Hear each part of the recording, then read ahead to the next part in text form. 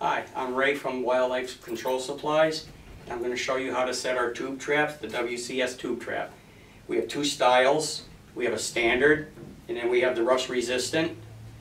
And what you basically want to do is you have three part, basic parts to this. You have your safety, you have a dog, and then you have what's called a strike bar. So you want to put your hands on the outside, two fingers on. You want to push the strike bar all the way down and lift the safety over the strike bar. That's probably the most important part of this trap is the safety on it. Once you have the safety on, you can take, push back down on here, you pull the dog up over the strike bar, and then you want to take your other hand, pull the pan up over the dog. So what happens now is your trap is set. Leave the safety on, and you want to take and put your baits inside for the squirrels. Then what you want to do is take your trap out to where you're going to put it, and the last thing you want to do is take the safety off, making the trap live. At this point, it's a live trap, the strike bar can't fire. So I'm going to put the safety back on.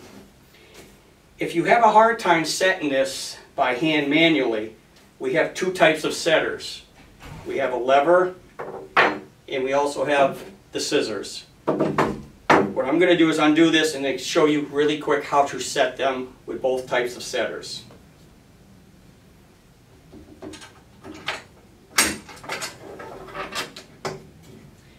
We'll do the lever first. What it does is it comes toward, I'm facing toward you. You want to put it all the way in and up.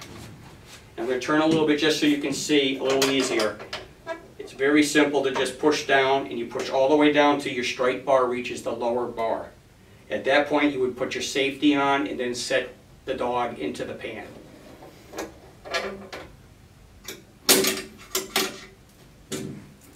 With the scissors, what you would do is you open them up, you set, I'll show you on the side here, the bar into the scissors. Once that's done, you pull this up and you hook the top onto the strike bar as shown. Now you can pull it down. You can do it with two hands, you can leave it on the bottom, or you can just like this, and then you set your safety.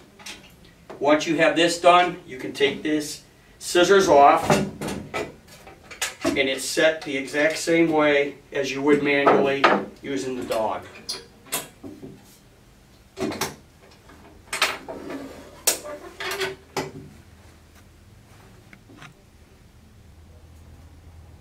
I hope this demonstration has been helpful for you in setting our tube trap. Uh, thanks for watching, and if you have any problems, you can always contact us, and we'd be glad to help you with any problems with anything you have. Thank you.